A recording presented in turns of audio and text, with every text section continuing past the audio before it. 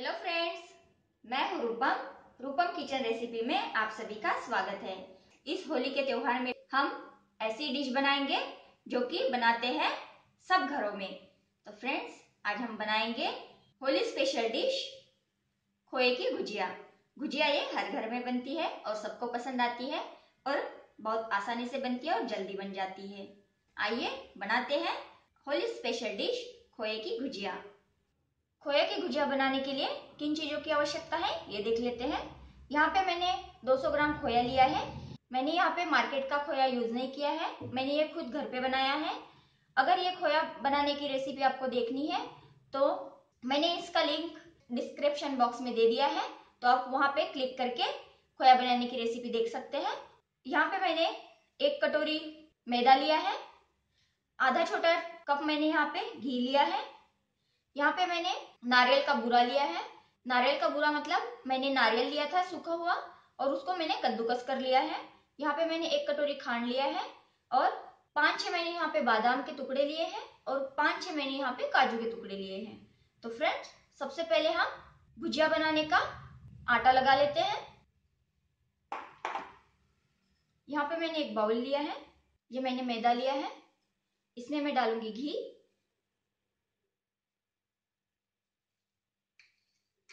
इसको मैं पहले अच्छे से मिक्स कर लूँगी। आप देख सकते हैं। यहाँ पे अच्छे से घी लग गया है मैदे में। अब मैं इसमें थोड़ा थोड़ा पानी डाल के इसका डो बना लूँगी। पानी एकदम से नहीं डालना है थोड़ा थोड़ा करके डालना है।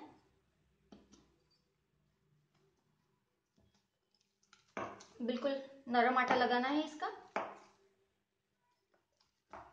आप देख सकते हैं।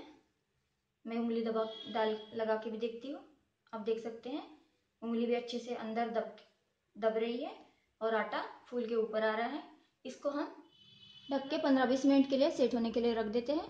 आटा सेट होने तक हम गुजिया की स्टफिंग बना लेते हैं।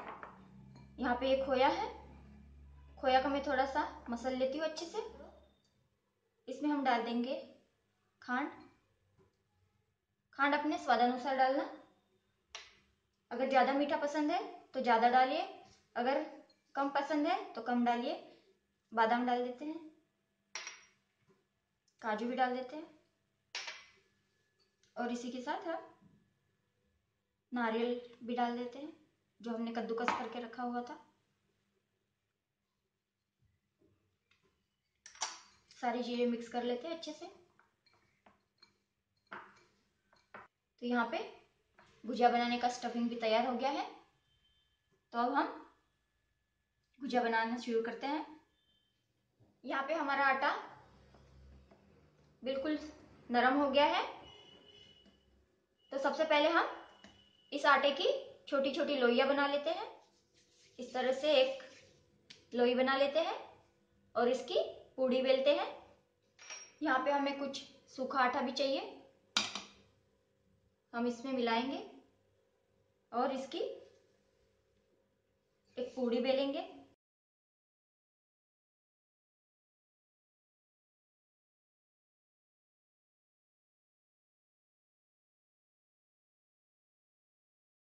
यहाँ पे हमने पूड़ी बेल ली है।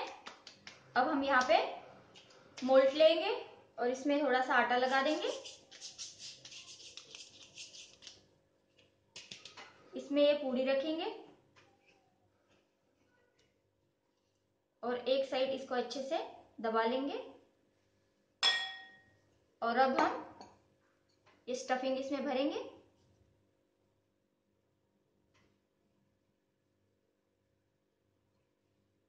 इस तरह से इसमें स्टफिंग भर देंगे अच्छे से।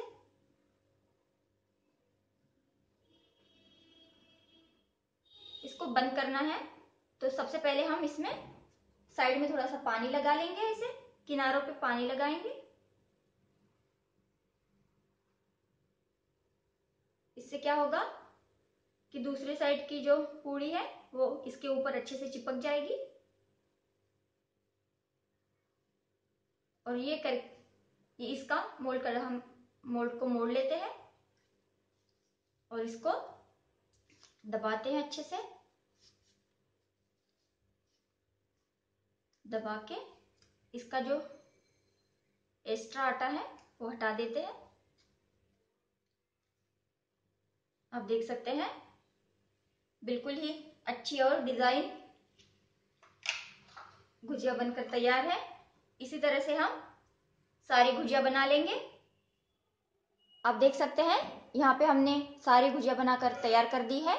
अब हम इसको डीप फ्राई करेंगे। हमने गैस पर कढ़ाई में तेल गरम होने के लिए रख दिया है।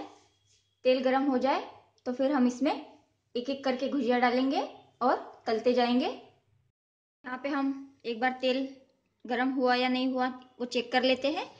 यहाँ पे मैंने मैदे की गोली डाली है। वो बिल्कुल तैर के ऊपर आई है। इसका मतलब तेल गरम हो गया है। गैस की फ्लेम बिल्कुल ही लो कर देती हूँ। और इसमें अभी एक एक करके गुजिया छोड़ देती हूँ। आप देख सकते हैं, यहाँ पे गुजिया बिल्कुल तल चुकी है। इसको मैं निकाल लेती हूँ एक प्लेट में।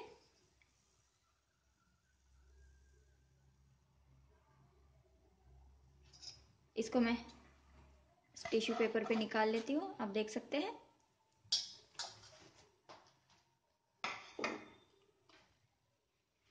ये भी गुजिया इसमें डाल देती हूँ।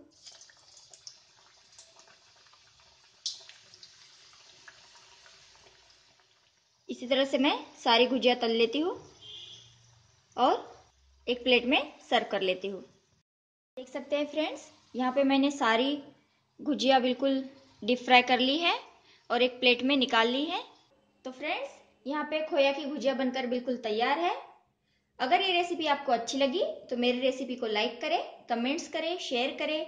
और अभी तक आपने मेरा चैनल सब्सक्राइब नहीं किया है तो प्लीज़ सब्सक्राइब करें। और पास में दिए गए बेल आइकन को क्लिक करना ना भूले। तो फ्रेंड्स मिलते हैं और एक नई रेसिपी लेके नए वीडियो में। तब तक के लिए बाय